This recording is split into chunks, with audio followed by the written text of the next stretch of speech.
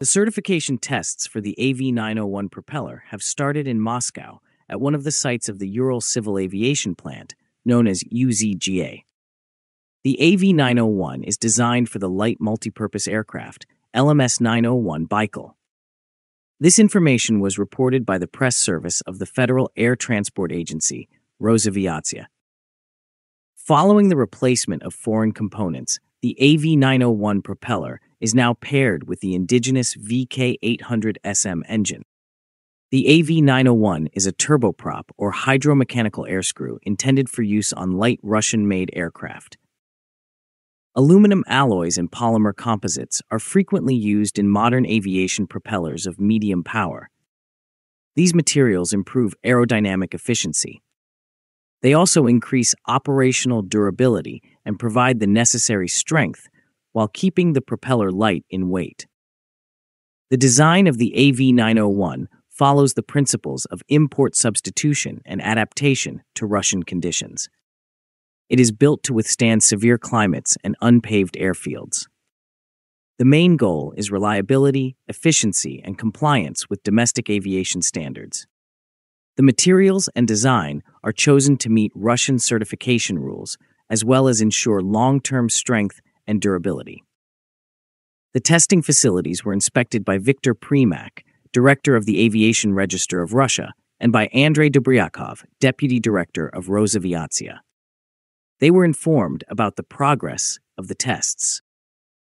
The static and fatigue tests of the propeller parts are carried out under federal aviation rules. These rules are set out in a program approved by the Aviation Register of Russia. Certification experts are conducting the tests. They work under the supervision of a special group formed by the agency.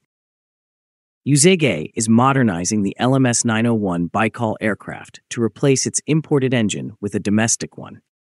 This is done under a contract with the Ministry of Industry and Trade of Russia.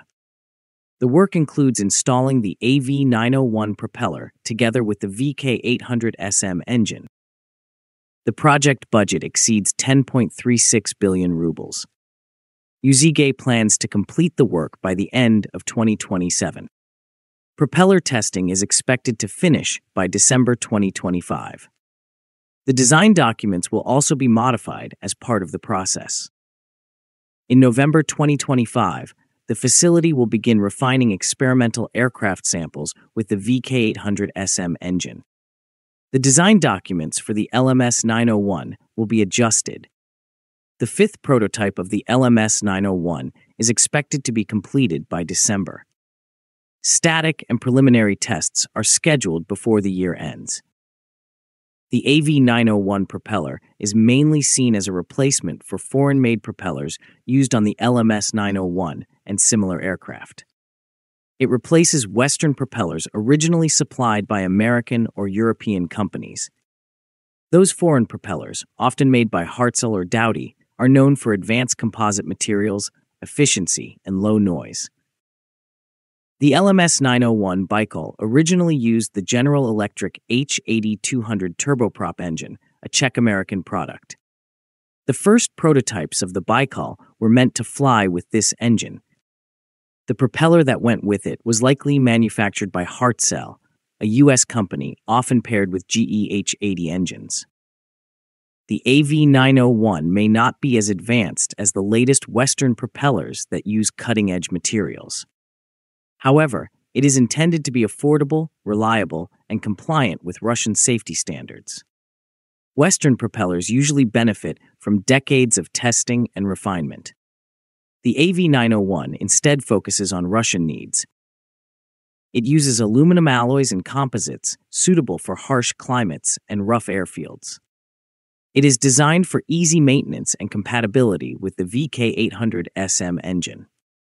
This makes it a strategic domestic replacement for foreign propellers, though it lacks the most advanced materials and aerodynamic designs. The LMS 901 Baikal is a Russian utility aircraft built as a replacement for the aging Antonov An 2. It is a high wing monoplane made mainly of aluminum. It is designed for short, unpaved runways in remote regions. The Baikal made its first flight on January 30, 2022.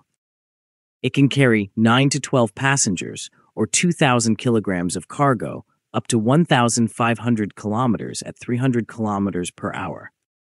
The aircraft has a wingspan of 16.5 meters, a height of 3.7 meters, and a length of 12.2 meters. Its maximum takeoff weight is 4,800 kilograms. The design emphasizes adaptability, reliability, and efficiency. It can switch between passenger and cargo versions quickly. Serial production is planned between 2024 and 2026. If you like this video, please like, share, and subscribe.